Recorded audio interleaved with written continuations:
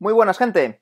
Bueno, en el vídeo de hoy vamos a seguir con el tema que ya lo comenté en un vídeo anterior sobre Mohamed Maher y la parada de mantenimiento que hubo de Supercell, porque en este caso lo que voy a hacer va a ser eh, simplemente traducir un vídeo que subió mm, Patrick, eh, eh, Chief Patrick, del canal de YouTube, que es el, el canal de YouTube con más suscriptores, es de habla inglesa, tiene más de 400.000, 430.000 me parece que, tiene.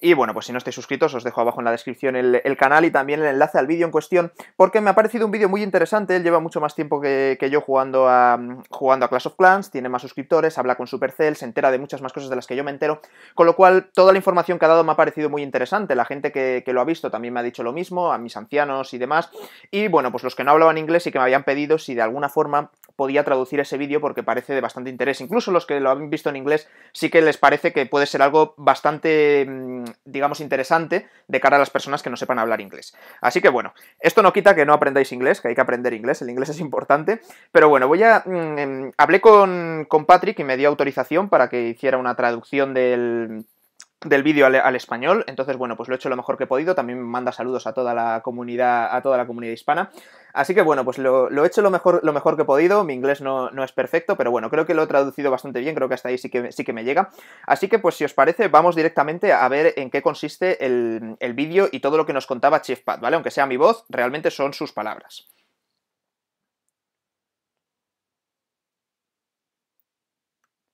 Hey, what's up guys? It's Patrick here. Hey, ¿qué pasa chicos? Aquí Patrick trayendo un nuevo vídeo sobre un tema de bastante actualidad y es hacer trampas en el número uno de Clash of Clans.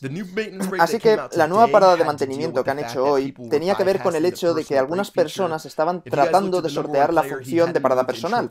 Si miráis al jugador número uno, no se había movido en trofeos casi creo que por tres semanas, al menos por dos semanas, pero no había atacado, no había sido atacado, la gente se preguntaba qué estaba pasando, así que Supercell simplemente puso en marcha un arreglo, y en lugar de hablar sobre el arreglo en sí, he pensado que podíamos mejor hablar sobre la historia de la posición número uno, la historia de los métodos de hacer trampa en Clash of Clans. ¿Por qué no deberías preocuparte sobre la Liga de Campeones? Porque está muy manipulada, es completamente un chiste, así que vamos a ello y empezaremos con un flashback a 2012. Creo que en septiembre es cuando yo empecé a jugar al juego y que durante ese tiempo tú realmente solo podías tener Ayuntamiento 8, así que había mucho caos en las posiciones más altas. La gente realmente no se preocupaba mucho sobre los jugadores top porque, para ser sinceros, Clash of Clans no había explotado aún. Clash of Clans realmente no explotó hasta más o menos diciembre o enero, y creo que sobre noviembre a diciembre el primer jugador número uno real apareció, y su nombre era Shady. Realmente mantuvo la posición por una buena temporada, y realmente no estoy muy informado y no puedo deciros si Shady hacía trampas o no. Yo no tengo pruebas de eso, así que no voy a manchar su nombre. Eh, así que simplemente voy a asumir que fue el jugador número uno limpiamente. Creo que tenía unos 3.850 trofeos y creo que fue verdaderamente el primer jugador número uno que la gente reconoce. Bien, pues en enero de 2013, me parece, Jorge Yao vino y se hizo con el trono. Clash of Clans eh, hizo un post sobre cómo superó los 4.000 trofeos y es cuando este tipo de trampas, creo que los escudos fáciles empezó a surgir. Así que eh, sigamos adelante y empecemos a hablar sobre esto de los escudos fáciles. Lo que los escudos fáciles es, digamos que yo soy el jugador número uno de Clash of Clans. Voy a hacer un trato con mi clan, así como con otros clanes, para mantenerme si la gente me ataca, eh, me ataca a mí, lo único que van a hacer es hacerme el 40%. Ellos van a perder a propósito, yo voy a ganar un escudo de 12 horas gratis, y además no voy a perder ni un solo trofeo. La gente podía abandonar su clan o no cuando hacía esto. Yo sé que Jorge Yao sistemáticamente se movía a clanes para que le siguiéramos en su Twitter, y hay como un millón de clans a los que él se unía, pero lo que estaban ocultando con ello era que estaban liderando clanes para permitir que sus propios compañeros de clan les atacaran y les dieran escudos fáciles. De hecho, Jorge Yao en una de sus entrevistas admitió que jugaba con cinco cuentas al mismo tiempo, cinco cuentas de alto nivel. Y lo que haría sería acomodarse en el número uno, tener sus iPad a la izquierda, sus iPad a la derecha, y se atacaría a sí mismo desde una de sus cuentas para darse a sí mismo un escudo gratis. Y de esta manera nadie podría pasarle en el top. Así que continuemos y hagamos una analogía, porque a todo el mundo le encantan las analogías. Digamos que el número uno es como un maratón que nunca acaba. Digamos que Jorge Yao está en la, en la primera posición y que tú has entrenado muy duro para alcanzarle. Has currado, te has currado tu camino hacia la Liga de Campeones, es decir, te has preparado la carrera. Tú trabajas realmente duro, te estás gastando gemas, es decir, estás entrenando muy duro para que cuando llegues al top 5 mundial y ves que Jorge Yao está justo ahí, pero que por alguna razón hay como un muro invisible detrás de él. Nunca puedes pasarle. No tienes ninguna oportunidad de pasarle. No importa cuánto te esfuerces, no importa las ganas que tengas de pasarle, nunca le pasarás porque tiene este escudo invisible. Ya sea atacándose a sí mismo para darse este escudo invisible o que sus compañeros de clan le ataquen para darle el escudo invisible. Por lo tanto, es imposible para ti que nunca, nunca, nunca consigas la posición número uno. Y no hay más. No importa lo duro que te entrenes, no importa lo mucho que te guste el maratón o lo que quieras correrlo. Nunca tendrás la oportunidad de ganar porque alguien tenga dos iPads y pueda atacarse a sí mismo. Y listo. Esta es literalmente la única forma, así que mientras algunos defienden estos escudos eh, fáciles, personalmente creo que es repulsivo que puedas simplemente atacarte a ti mismo y va totalmente contra la ética del juego. Creo que cuando Supercell creó el juego, querían que cualquiera pudiera ser atacado en cualquier momento, en vez de simplemente apalancarse allí, teniendo escudos gratis, no jugando y no jugando limpio después de todo. Tengo una extensa opinión sobre los escudos fáciles, pero os ahorraré el tiempo. Así que esto es principalmente como Jorge Yao hizo para mantenerse en su misma posición. Y aquí es cuando, en cierto modo, empiezas a ver cómo siempre está el mismo jugador de número uno. Cuando Jorge Yao se retiró, se comparó a sí mismo con Michael Jordan, aunque él simplemente estaba abusando de la mecánica del juego todo el tiempo. Y sí, es en cierto modo su legado. Así que sigamos adelante y vamos al siguiente jugador. Y este fue Dream. Creo que este era su nombre, y fue un jugador top bastante reciente. Hizo una entrevista con otro youtuber de Clash of Clans, y durante esta entrevista, no sé por qué alguien revelaría esto, admitió utilizar una máquina para ayudarle a tocar el iPad y estar online permanentemente. Voy a poner en la pantalla ahora mismo para que veáis a lo que, a lo que hacen estas máquinas y el hecho de que las personas estén usando máquinas para mantenerse en las posiciones top es absolutamente ridículo. Si tú eres un jugador top como yo cuando entré en el top 200 y tú estás trabajando duro, estás online para conseguirlo, el hecho de que alguien esté utilizando una máquina construida con Legos para mantenerse online indefinidamente es una completa locura. Así que Supercell en realidad introdujo un apaño para ayudar a solucionar esto, introdujeron una funcionalidad de parada personal obligatoria con la que cada 8 horas del juego el juego te desconectaba por un par de minutos, pero así el hecho de que puedas estar conectado por 8 horas es una locura. Solo porque tú tengas un Lego o alguna máquina que te ayude. También se acusó a, Dream de usar escudos fáciles, pero de nuevo, esto es, es, la norma, no, eh, no corre riesgos, pero sí.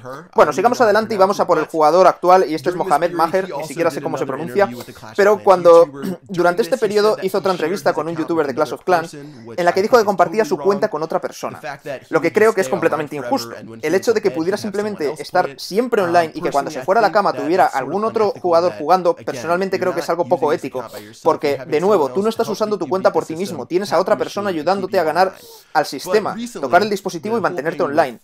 Pero recientemente la cosa con el actual jugador número uno es que él estuvo en el mismo número de trofeos por tres semanas. Así que la gente empezó a preguntarse qué estaba pasando. De hecho, lo mencioné en mi último, en mi último vídeo y se da la circunstancia de que hablé con un empleado de Supercell y él me dijo que la gente estaba manteniéndose online por más de 24 horas utilizando el hack del iMod. Lo que este hack permite a la gente hacer es eh, bordear la función de parada personal hasta el punto de que podían estar online permanentemente. No se sabe a ciencia cierta si él estaba usando el iMod hack para estar online permanentemente, pero el hecho de que estuviera en 4.521 trofeos por más de dos semanas, de que este eh, hizo que este tema saltase, así como que justo cuando se deshabilitase el error bajara 40 trofeos de golpe. Pero creo que puedo dejaros que saquéis vuestras propias conclusiones sobre esto. Otra de las formas de hacer trampas que se han visto en Clash of Clans es la sandbox. El modo sandbox es donde mucha gente puede atacar otra, la aldea que quiera, aunque y aunque suene como una gran funcionalidad, si digamos que soy el jugador número uno en Clash of Clans y sé que el segundo jugador está en mi lista de venganzas, puedo usar este modo de sandbox para estudiar al detalle su base. Puedo atacarle 30 veces hasta que encuentre la estrategia perfecta de ataque con el modo de sandbox, en el que ninguno de mis ataques cuenta. Y luego, cuando le esté atacando y realmente cuenten los trofeos, voy a destrozarle completamente la aldea. Y los jugadores top han dicho que utilizan este modo todo el rato. Del mismo modo he hablado con... Eh, eh, ha habido otros hacks tipo iMod y personalmente nunca he mirado la lista, yo no apruebo hacer trampas, pero sí, hacer trampas es muy criticado y la única pregunta que me haría es ¿por qué? ¿Por qué la gente se gasta 10.000 dólares en este juego? ¿Por qué la gente hace trampas en este juego solo para tener ese pequeño número uno y para tener esos pequeños trofeos pixelados? Imagino que viniendo de mí esto puede sonar un poco raro porque yo hago vídeos de YouTube eh, de Clash of Clans y podéis llamarme perdedor si queréis, pero yo me lo paso bien y porque ayudo a la gente, les doy consejos y trucos y construyo una comunidad. Pero esta gente está literalmente solo haciendo trampas y gastando todo su tiempo por tener la primera primera posición en un videojuego, que ni siquiera importa. No lo entiendo. Eh, no, entiendo por qué la gente eh, no puede simplemente jugar eh, limpiamente según las normas, porque creo que se sentirían mucho mejor consigo mismas si no tuvieran que ser sucios y simplemente trabajaran para conseguir esta, primera posición en vez de hacer trampas. Pero en cualquier caso, alguien muy sabio me dijo que no plantees un problema si no tienes ninguna solución, así que he pensado algunos cambios para finalizar este vídeo y para ayudar a mejorar la Liga de Campeones. Personalmente no soy el chico más inteligente ni tengo las mejores ideas cuando se trata de arreglar cosas, pero hay un montón de mentes brillantes en los foros y mucha gente que ha tenido grandes ideas para la Liga de Campeones que no se han llevado a cabo. Sé que Supercell se está esforzando al máximo, está tratando de arreglar la Liga de Campeones de, cómo está ahora, pero actualmente es un desastre. Ha sido un desastre el último año y medio y definitivamente tienen que mejorarlo. Sé que justo han hecho esta parada de mantenimiento, pero cuando la gente está haciendo esto, de acuerdo, son solo errores, pero Supercell debe, debe hacer a la gente responsable. Pero sigamos adelante y, digamos, primera cosa que debería arreglarse. Como primera medida, no más escudos por el 40%. El hecho de que alguien te ataque y consiga el 40% y, que realmente te dé un escudo gratis con el que vas a mantener tus trofeos es una locura. Debe eliminarse el escudo del 40% en la Liga de Campeones. Es difícil de creer que esto ha estado sucediendo durante un año eh, más o menos y Supercell no lo haya arreglado. Así que por favor, mejorar esto cuanto antes. Segundo lugar, son necesarias unas normas mucho más estrictas. Cuando se trata de saltarse las reglas, creo que es necesario que haya unas normas más estrictas. Cuando se trata de romper las normas, es necesario que de ningún modo haya cuentas compartidas y que en la Liga de Campeones no haya de ningún modo máquinas que ayuden a conectarse permanentemente, ni hay mod hacks, y, que de, y que de hacerlo te enfrentes al riesgo de ser baneado. Supercell en realidad tiene estos datos. Ellos saben cuando la gente está online por más de 24 horas. Soy consciente de que hace mucho dinero con esta gente, pero si encontrasen a alguien fingiendo las normas, deberían darle un aviso, quizá bajarle como 500 trofeos, y luego si vuelve a saltarse las reglas deberían directamente banearlos. No hay ninguna razón para no hacer esto. Sé que quieren sacar dinero, pero para ser éticos y hacer que la gente sea responsable es necesario que se aseguren de que controlen a estos jugadores top. Y si esto es bastante notorio, la gente está admitiendo en entrevistas que están haciendo trampas, están subiendo vídeos de ellos mismos haciendo trampas, y yo ya no sé qué más tiene que pasar para que saquen a estos jugadores fuera del juego. Es una locura mantenerlos. Y la última cosa para ayudar a mejorar la Liga de Campeones es que la gente decide idolatrar a estos jugadores. En vez de idolatrar a estos jugadores por ser el número uno, deberíais en su lugar, supongo, no sé, idolatrar a Supercell por crear este gran juego. No hay ninguna razón para entrevistar a estos jugadores en YouTube por ser despreciables, por hacer trampas usando todo estos diferentes métodos para tener la primera posición cuando en realidad están, están creando un campo de fuerza invisible para que nadie, la gente nunca pueda atacarles. Así que no les deis famas, no les deis crédito. Esto es todo lo que tenía que decir sobre el tema. Así que bueno, pues eh, haced los ataques sin prisioneros y demás. Bueno, no, esto es broma, esto ya me lo estoy inventando yo, pero bueno, aquí ya Patrick eh, simplemente se despedía su vídeo. Y bueno, pues yo la verdad es que con todo esto que, ha dicho, a partir de aquí ya es opinión personal, personal mía, yo estoy 100% de acuerdo. O sea, no, no tengo prácticamente, bueno, no, no tengo ningún pero en todo lo que ha dicho. Sí que, sí que yo creo que las soluciones que él propone, quitar el escudo, eh, el escudo del 40% en Liga de Campeones estaría, estaría genial. Aunque sí que es cierto que, que, bueno, aunque pueda sonar un poco injusto, a lo mejor sí que se puede llegar a una solución intermedia y dar, pues digamos que, que un margen ¿no? Para, imaginemos que te hacen entre el 40 y el 50%, pues bueno, que ahí no tengas que pagar gemas a lo mejor por levantar a los héroes o por tener otra vez que volver a pedir castillo porque tienes que volver a salir a defensa y ahora pues si alguien te hace un 45%, pues digamos que ya tendrías el, escudo. Entonces, bueno, pues ahí se puede llegar a un término medio, pero bueno, de todas formas en ligas altas eh, estamos hablando de jugadores top que se gastan 500 gemas por cada ataque, con lo cual tampoco es algo muy relevante, pues realmente se puede se puede quitar el escudo del 40% y no pasaría nada. Te evitas todos estos abusos, porque ya cada vez que te den un escudo vas a perder trofeos, con lo cual eh, te ahorras todo esto. Bueno, ¿qué más cositas eh, podría decir? Bueno, sobre, sobre el iMod, el iMod hack este del que hablaba Patrick.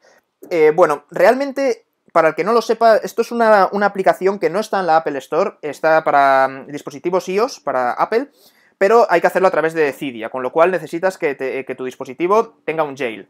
Entonces, si no tienes Jail, no tienes la opción de tener el, iMod, pero si lo tienes, te lo puedes comprar. Es una aplicación de pago, digamos. Entonces, ¿qué es lo que hace este iMod? Es como una ayuda en, en of Clans, ¿vale? ¿Qué te permite hacer? Bueno, te permite, por ejemplo, buscar recursos. Tú le puedes meter en el iMod, quiero que me saques una aldea que tenga más de 300.000 de oro y de elixir. Si no, no me saques ninguna aldea. Entonces, la aplicación lo que hace es, eh, por lo que me han contado, va pasando aldeas muy rápido hasta que da con una. Eh, a ver, esto es una ayuda porque esto tú también lo podrías hacer, pero bueno, Para farming, pues eh, hay mucha gente que lo utiliza porque le pasa muchas aldeas, le quita el oro por cada búsqueda que hace, pero al final solo te enseña la aldea que, tiene ya muchos recursos. Entonces, bueno, pues para encontrar aldeas con minas abandonadas está, eh, está muy bien, parece ser. Luego, te permite mantenerte online. Tiene un modo que, hasta donde yo tenía entendido, solo te permitía estar las 8 horas que te permite el juego y después te saltaba el mensaje de que tus aldeanos tenían que descansar. Parece ser que esta, esta gente ha encontrado una forma de sortearlo y que por eso Supercell tuvo que hacer el mantenimiento para obligarles a que salieran otra vez a defensa y obligarles otra vez a atacar. Entonces, bueno, pues este es otro de los modos que tenía y el otro es el sandbox, que simplemente dices, vale, a ver, yo estoy aquí con mi aldea, te construyes un ejército y dices, vale, quiero atacar al número uno del mundo, Mohamed Maher pues tú con las tropas que tienes en los campamentos te simula un ataque como si atacaras a su base. Claro, ¿qué es lo que pasa? Que que tú cuando haces este ataque puedes ver las trampas del otro, porque es que te simula, te simula el ataque perfecto, con lo cual sabes dónde están las bombas gigantes, dónde están los Teslas, por dónde entrar, sabes que si entras por un lado, eh, te va, eh, las tropas al final, los rompemuros no van a ir donde tú pensabas, con lo cual mejor entra por el otro lado, o sea, es, un completo abuso. Yo la verdad es que estoy eh, completamente de acuerdo en que esto en Liga de Campeones no puede existir, esta herramienta. O sea, es, dar demasiada ventaja a la gente que lo tiene y poner en mucha desventaja a la gente que, no lo tenga. Eh, del mismo modo que no hay, eh, no existe el escudo de una semana en la Liga de Campeones, en cuanto pasas de los 3.200 trofeos, se borra esa opción, no te lo puedes comprar. Yo creo que esto tiene que, eh, tiene que deshabilitarse.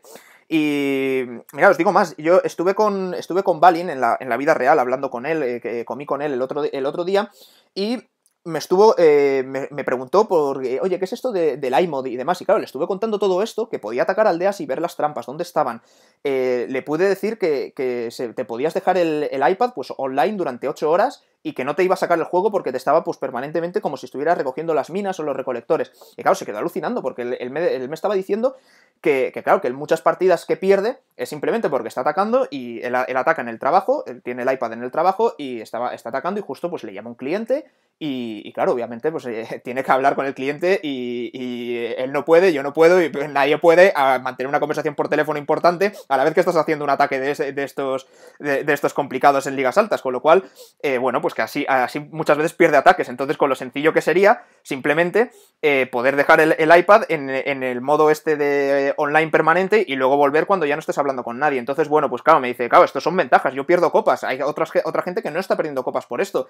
Eh, luego me está diciendo también que lo de poder atacar una base y ver las trampas es un escándalo, porque claro, dice, en Liga de Campeones es que si te das cuenta es verdad, aldeas, aldeas, hay 10, 15 diferentes, no hay muchas más. O sea, te coges el, modo sandbox este, empiezas a hacer ataques a todas te las estudias y ya sabes cómo atacar todas las aldeas. Cuando la gente que no tiene el iMod, lo que tiene que hacer es experimentar cuando está atacando. Y las primeras veces, pues si sale mal, perder trofeos. Y cuando hay gente que, no, está arriesgando sus trofeos, digamos, para poder aprender cómo atacar determinadas bases. Entonces, bueno, pues sí, yo estoy en contra de, de esto del iMod.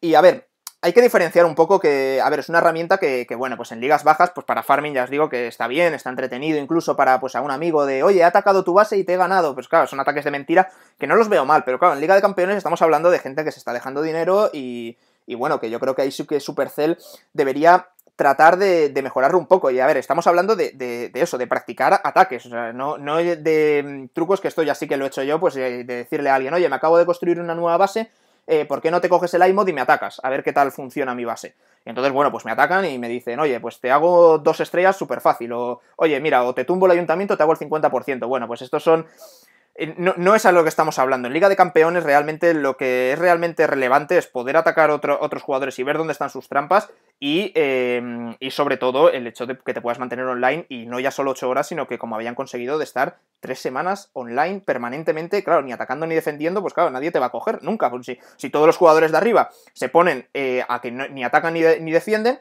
eh, nadie sube porque los que tienen, los que tienen más copas que tú no, no, están saliendo a defensa, con lo cual nunca les vas a poder atacar, y atacando a los que están abajo, claro, vas de una en una, pues bueno, pues para, cuando me cojas ya saldré otra vez a atacar, pero mientras tanto, entonces claro, esto es, esto es un abuso, entonces Supercell tiene que eliminar esto, o si no puede eliminarlo porque es una aplicación y demás, tiene que trabajar en, que no puedan utilizar el sandbox porque no puede identificar las aldeas el iMod, o simplemente que, que, si no pueden eliminarlo, que lo introduzcan en el juego, y que todos los jugadores campeones cuenten con las mismas herramientas y con las mismas armas, y que si alguien por tener el jail pueden tener el sandbox, pues que alguien que no lo tenga también. Entonces que lo, que lo introduzcan en el juego, porque es, la única solución entonces que, hay para que realmente sea competitivo y, todos jueguen en igualdad de condiciones.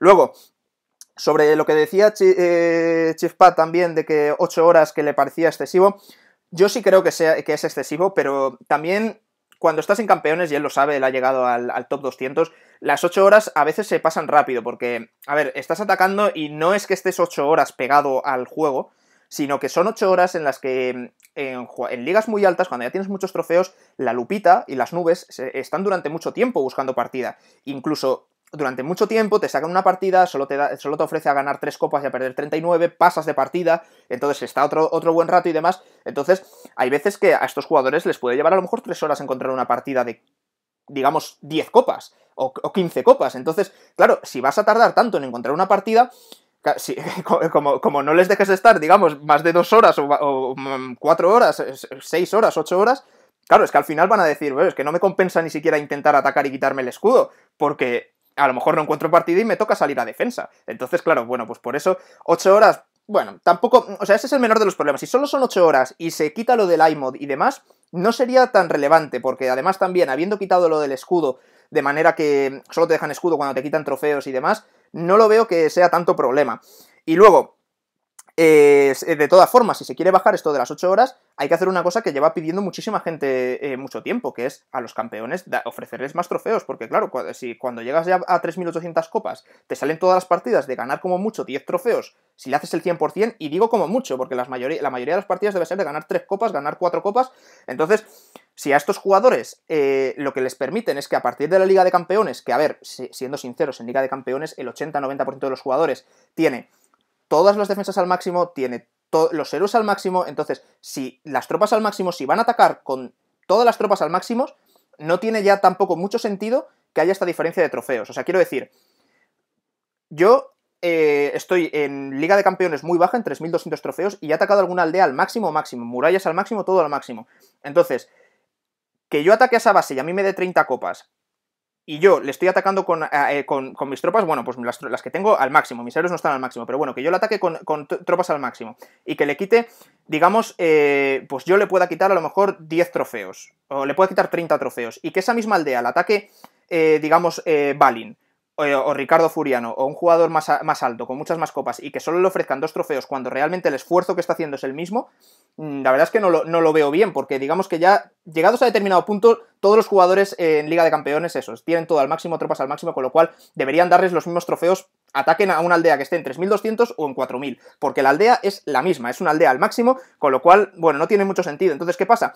Que si tú permites, eh, si tú haces que a los jugadores que están arriba les salgan mejores partidas, les incentivas a que ataquen más. Entonces, ya no les importaría, aunque tengan que atacar y, en 4 horas, en lugar de en 8 horas, en 4 horas tengan que salir a defensa, les daría igual, porque podrían hacer 4, 5, 6, 7 ataques buenos, porque ya les estás dando más copas. Pero claro, si te estás 3 horas para encontrar una partida que te vaya a dar 3 cochinos trofeos, pues claro, es que al final no puedes limitarles eso. Entonces, bueno, pues yo creo que sí que aumentar los trofeos que se les da a los campeones eh, no sería ninguna tontería. O sea, que eh, moderar un poco este, este, cambio tan brusco que hay entre cuando atacas a un jugador con muchas menos copas que tú, porque ya todas las aldeas están al máximo, y con eso además sí que incentivas que si no puedes eliminar a los tramposos, sí que los jugadores que sean legales puedan alcanzar a los tramposos.